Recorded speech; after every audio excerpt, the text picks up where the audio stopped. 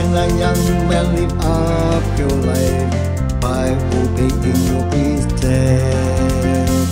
With all my heart I have sought you, Lord. Don't let me break your commands. Your words are hidden in my heart, that I might not sin against you. Lord, you are worthy of praise. My lips I have declared all the justice you have spoken. I delight in your teaching more than in having great wealth. I will meditate in your precepts and attend unto your ways. I will delight myself in your statutes.